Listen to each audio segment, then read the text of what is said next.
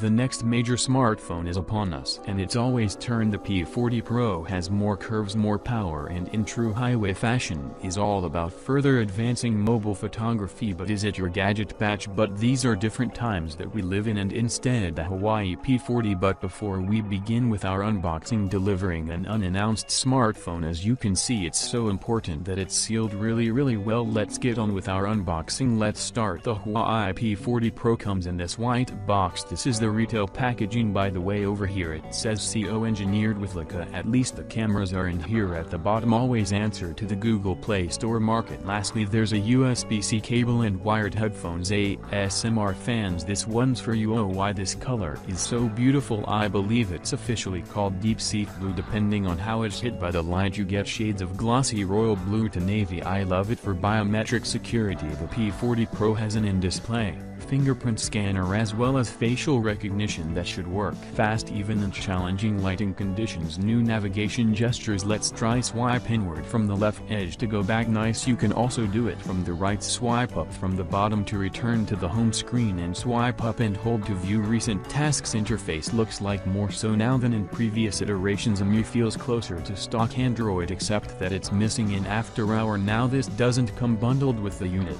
Despite lacking Google's apps and services out of the box. The Huawei P40 Pro features all kinds of flagship goodies like 5x periscope optical zoom lens 5G support and 40-watt fast charging both wired and wireless under the hood. The phone is powered by Huawei's own Kirin 990 chip and a battery cell as big as 4200 mAh at the front is situated a 6.58-inch OLED display with a 90Hz refresh rate an in-screen fingerprint sensor and a dual selfie camera. The back is adorned by a quad camera setup with an all-new 50-megapixel REG main sensor the Huawei P40 Pro will be available across Europe from April 7, 2020.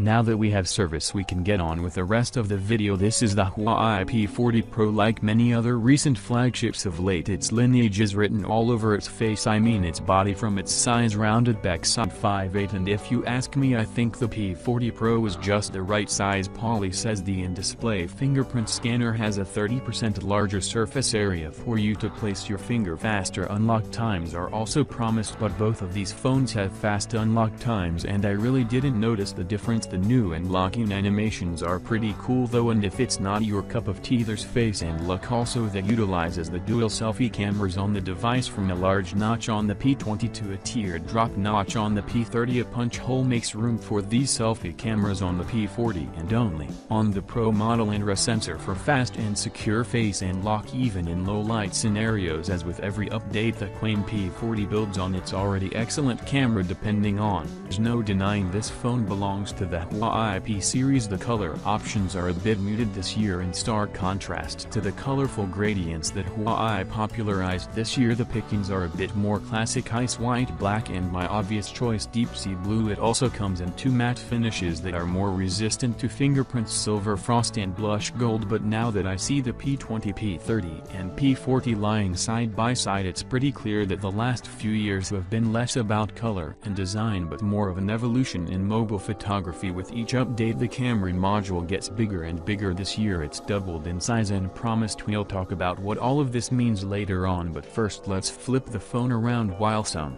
brands are abandoning curved displays while we is taking them even further this year keeping its curved sides and adding curves to its top and bottom. Also the company says this was inspired by surface tension. You know when a cup is just about to overflow with water but hold its shape in the short period that I've used the device. The squad curved display felt more aesthetic than functional. This Full HD Plus OLED display sports a 90Hz refresh rate with buttery smooth transitions and animations. This year there are 3 P40 flavors. P40 P40 Pro and a decked out P40 Pro Plus. Screen sizes differ slightly. The screen on the P40 is 6.1 inches while the P40 Pro and P40 Pro Plus are 6.58 and if you ask me I think the P40 Pro is just the right size which model you get? You'll get either a triple a quad or a penta camera setup all three phones have the same main camera hardware. The star of the show actually a 50 megapixel ultra vision wide angle camera that boasts of the largest image sensor seems to be powerful. The P40 Pro took excellent photos both during the day and at night even in very dark conditions and even without night mode turned on. There are supposedly 8 focus points per pixel on the device that allows the phone to quickly latch onto subjects even if they're moving this shot for example of a plane came out great even if I rushed to take it. So basically what happened is I saw one fly overhead. I quickly grabbed the phone opened the camera app switched to 10x zoom and hit the shutter button. So yeah the long-range telephoto feature that Huawei introduced last year is still there. A periscope system enables 5x optical zoom and 10x hybrid zoom and new on the P40 zoom lenses optical image stabilization which works together with AI stabilization to counter the shake you get when zooming into that far away here are more samples finally there's an ultra wide angle lens and here's what some sample photos look. We'll give this camera a little bit more of a test in our review video so to make sure you don't miss that subscribe to our YouTube channel and hit that bell icon to turn on notifications. AI photography has always been a big keyword on the P series and the P40 comes with their next gen AI scene detection. It can do things like remove moving subjects from the background of a photo and reduce reflections when you're taking pictures of something behind glass. For example here's an example of the removed passerby feature. Now you can see Chai walked behind me while the photo was being taken. And so when you go in to edit the photo you can hit remove passerby and it will pick the best frame without her in the shot. Remove reflection on the other hand increases the contrast of an image to reduce the glare but it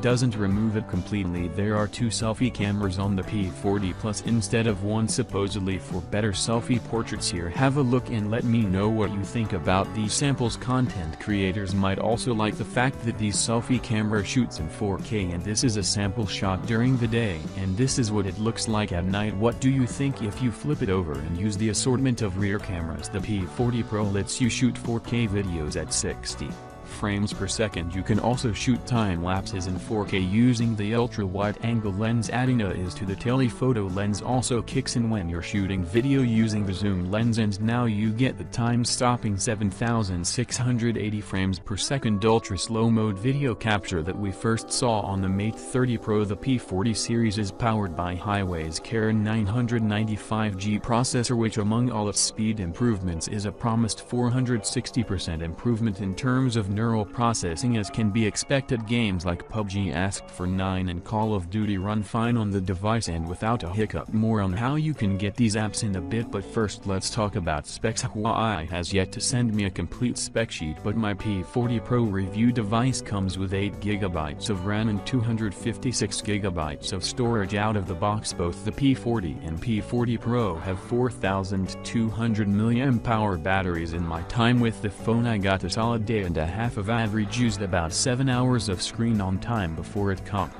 out charging was super fast. It ships with a 40 watt supercharger that got me to 68% after a 30 minute charge and an hour and 10 minutes to get to 800 What's more impressive is that the P40 Pro supports 40 watt wireless charging as long as you get Huawei's optional supercharged 40 watt wireless charger. Are the macro shots versus the ultra wide? I actually had the same question and it looks like the ultra wide angle camera doesn't act as a macro lens anymore. Here's a shot I took using the P30 Pro when I use the P40 Pro Pro I couldn't focus as close using its ultra-wide-angle lens so I moved back and used the 5x zoom lens and got this photo instead. How much better is that camera versus the P30 Pro? I haven't had a lot of time comparing these two phones but here are my initial findings. I'm finding that the P40 is better at things like HDR as can be seen in this example and when there's a tiny bit of light to work with it also does a better job in low light although the P30 Pro seems to let more light in when shooting in total darkness. Adding OIS to the telephoto lens helps a lot and theoretically once that software is rolled out those new AI features are pretty dope to bug us from Indonesia. Asks what about the OS is it still Android? Good question. The P40 Pro runs EMUI 10.1 built on the open source version of Android 10 everything's there except for Google Play services which brings me to the question how does it compare compare without standard Google Apps Huawei's app gallery is slowly coming along with apps like Telegram Microsoft Office Snapchat all being officially offered also from within the app gallery. There's now a link to download Facebook. All good signs that the rest are coming soon. There are other ways to get your favorite apps onto the phone. One of them is called Phone Clone which lets you restore from an old device. Your old apps will come to I personally just used APKPure and have used it to get my favorite apps including Instagram Disney Plus and Spotify on my P40 Pro and yep at Mirza that includes Netflix too so is the Huawei P40 Pro your gadget match I'm going to need more time with the phone to be able to give you my full thoughts but price is going to play a very important part on whether or not I'm going to be able to give it a glowing recommendation but in terms of hardware the P40 Pro is one heck of an Android phone. Here's the hoping the software challenges get sorted out soon. Thankfully the updates look promising. You'll notice in this video I didn't